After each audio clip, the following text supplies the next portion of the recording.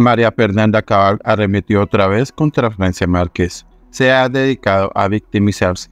La senadora del Centro Democrático cuestionó nuevamente a la vicepresidente tras su presentación y los abucheos que recibió en el Cauca.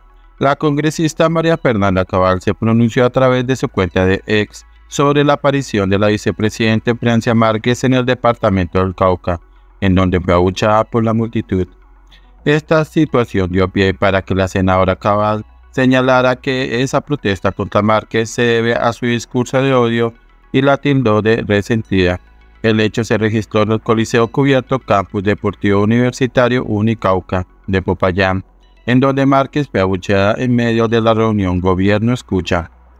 Este hecho causó impacto, si se tiene en cuenta que en el Cauca es el departamento de origen de la vicepresidente y siempre ha sido una de las regiones que más apoyo le ha demostrado.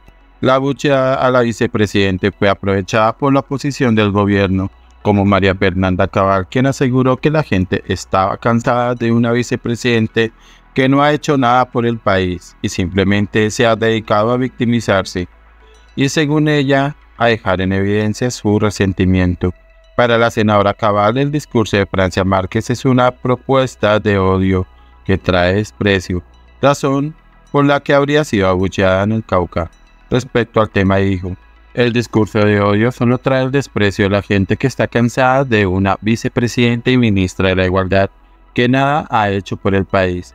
Se ha dedicado a victimizarse y a dejar en evidencia su resentimiento. Hoy en el Cauca, su tierra.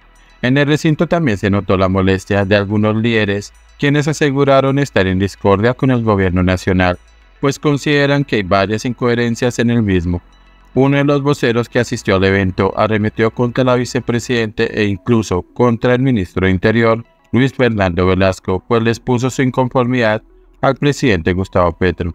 El vocero explicó que desde la región veía con preocupación que los mencionados estaban atentando contra el proyecto del pacto histórico, apoyando iniciativas distintas a las ya impulsadas por este movimiento.